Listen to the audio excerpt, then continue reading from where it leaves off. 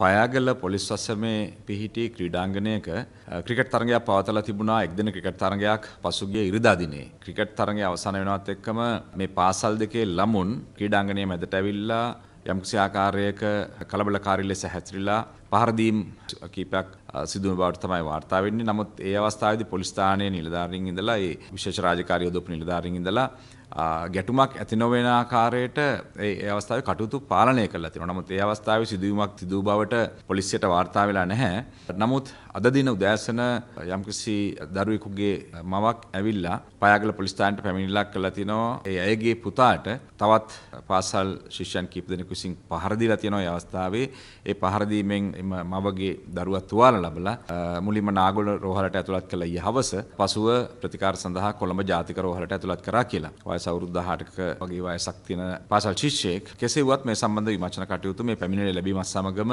පාගල police ස්ථානය මගින් ආරම්භ කරලා තියෙනවා. නමුත් ඊට පෙර ස්ථාපතිවරයා දැනුම් දුන්නේ එහෙම සිසුන් අතර තුවාල වන ආකාරයට පහර පහර දීමක් සිදුුනේ නැහැ. දෙපිටිසම පිටණිය මැදට ආවා. ඒ තත්ත්වය පොලිසිය පාලනය කරා.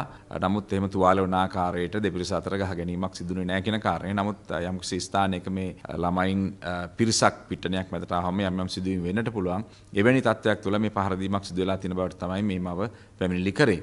කෙසේ වුවත් විමර්ශන කටයුතු ආරම්භ කරලා තියෙනවා. මේ සිද්ධියේදී පයාගල්ල පොලිසියේ දූෂණ මර්ධනාංශයේ ස්ථාපතිවරයාට පහර දීමක් සිදු වෙලා තියෙන බවට සමාජ මාධ්‍ය ජාලාවල පළ වෙනවා. එය සම්පූර්ණම අසත්‍ය තොරතුරක් දරුවා අඳුරගෙන තියෙනවා පහර දුන්නේ කවුද කියලා. ඒ වගේම මව විසින් මේ පහර දුන්නු ශිෂ්‍යයන් ගැන යම් කිසිආකාරයක පැමිණිල්ල සඳහන් කරලා තියෙනවා. මේ සම්බන්ධ විමර්ශන කටයුතු කළා. පොලිසිය අදාළ ක්‍රියාමාර්ග ගැනීමට කටයුතු කරනවා. දැන් පසුගිය කාල සීමාව තුළ අපි දැනුම් දුන්නා මේ පාසල් අතර පැවැත්වෙන ක්‍රිකට් තරඟවලදී මෙවැනි ආකාරයේ සිදුවීම් වෙලා තියෙනවා. ඊටම අවසනාවක් සිදුවීම් සිදු වෙලා ළමයින් මිය ගියා, තුවාල ලැබුවා. ඒ නිසා මේ සංවිධානය කරන පාසල්වල විදුහල්පතිවරයා ඇතුළු ආචාර්ය මණ්ඩලයට, ඒ වගේම මේවට මැදිහත් වන ආදි ශිෂ්‍යයන්ට, ශිෂ්‍යාවන්ට, ඒ වගේම දෙමව්පියන්ට අපි කාරුණිකව ඉල්ලා සිටින්නේ ඔබ මේ පාසල්වල මේ තරඟ දිනුම් පැරඳුම් අනුව යම් යම් ගැටුම් ඇති වෙන්නට පුළුවන්. ඒ